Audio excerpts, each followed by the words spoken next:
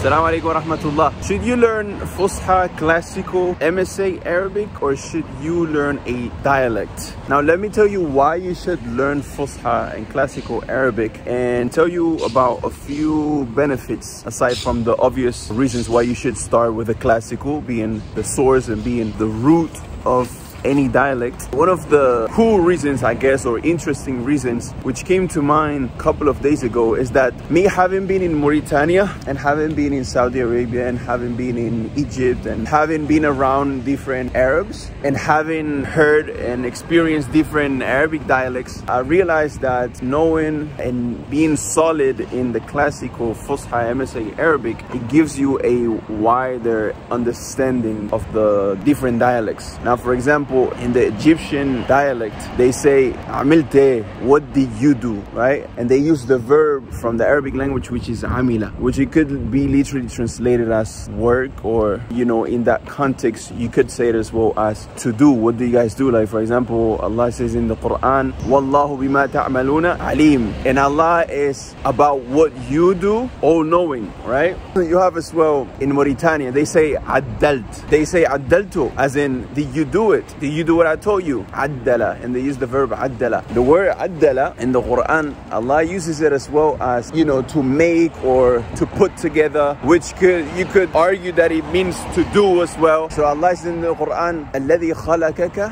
خلقك فسوك فعدلك. And in a qira'ah they say addalak in warsh. So with that being said, they use that verb addala as to do, to make, to put together, to make you straight basically. So Mauritanians, they use this verb, they took this verb and they use it to do like what did you do? Or did you do it? Or did you put it together? Did you did you uh, manage to do that thing that you said you was going to do etc then you have in the Saudi dialect or Khaliji dialect they say sawa they use the verb sawa. And they say sawaitu sawaitahu as in did you make it? Did you you know did you do it? That's how they use it. And Allah in the Quran he says fasawwaka fa'adalak. So in the same ayah in the same verse he uses that same verb sawa to say he is the one that put you together. Now literally translated or the most common meaning of sawwa could be to basically put something on the same level as the rest of the things. To put it on the same exact level. Which you could argue as well that it means to put together. Which you could argue as well that it could mean to make, to do, to get done, things like that. So as you guys can see, dialects are only a diluted version of the classical MSA Arabic. So if you want to